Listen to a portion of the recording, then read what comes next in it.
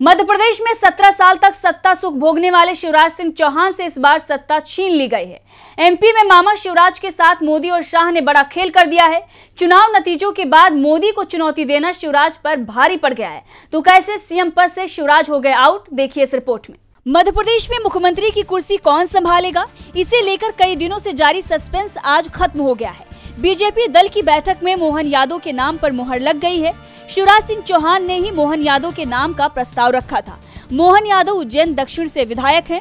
उन्हें संघ का करीबी माना जाता है। ऐसे में शिवराज सिंह चौहान के साथ एमपी में बड़ा खेल हो गया। नतीजे घोषित होने के बाद से शिवराज सिंह चौहान खुद सीएम पद का बड़े दावेदार माने जा रहे थे। लेकिन अब सूबे की कमान मोहन यादव के हाथों में होगी। मोहन यादव उज्जैन दक्षिण से तीसरी बार विधायक चुने गए हैं। यादव जुलाई 2020 से 2023 तक राज्य सरकार में उच्च शिक्षा मंत्री रहे हैं। और वो 2013 से लगातार विधायक हैं। इसके साथ ही पार्टी ने सीएम के साथ डिप्टी सीएम के नाम का भी ऐलान किया है। राजेंद्र शुक्ल और जगबीर देवड़ा डिप्टी सीएम होंगे, जबकि नरेंद्र सिंह तोमर विधानसभा अध्यक्ष होंगे। इस अहम फैसले से बीजेपी आला कमान ने आज भोपाल में पर्यवेक्षकों की एक टीम भेजी थी, जिसमें हरियाणा के मुख्यमंत्री मनोहर लाल खट्टर, आशा लाकड़ा और के लक्ष्मण के नाम शामिल हैं।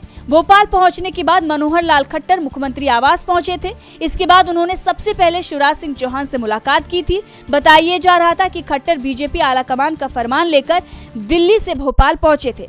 खट्टर के भोपाल पहुँचने के बाद भी नड्डा लगातार उनके संपर्क में थे। पार्टी कार्यालय में जहाँ विधायक दल की बैठक चल रही थी, वहीं पार्टी ऑफ़िस के बाहर प्रहलाद पटेल और शिवराज सिंह चौहान के समर्थक नारेबाजी कर रहे थे। अब आपको बता दें कि मुख्यमंत्री की रेस में सीएम शिवराज सिंह चौहान के साथ ज्योतिरादित्य सिंधिया, नरेंद्र सिंह तोमर, कैलाश विजयवर्गीय, प्रहलाद पटेल और खुद प्रदेश अध्यक्ष बीडी शर्मा के नाम शामिल थे। उधर सीएम के नाम के ऐलान से पहले प्रहलाद पटेल के आवास की सुरक्षा बढ़ा दी गई थी। अब आपको बता दें कि मध्य प्रदेश में बीजेपी ने विधानसभा चुनाव में एक सीटों पर जीत हासिल की है, जबकि कमलनाथ के चेहरे पर चुनाव लड़ रही कांग्रेस को महज छियासठ सीटों पर जीत हासिल हुई है। डीबी लाइव की रिपोर्ट।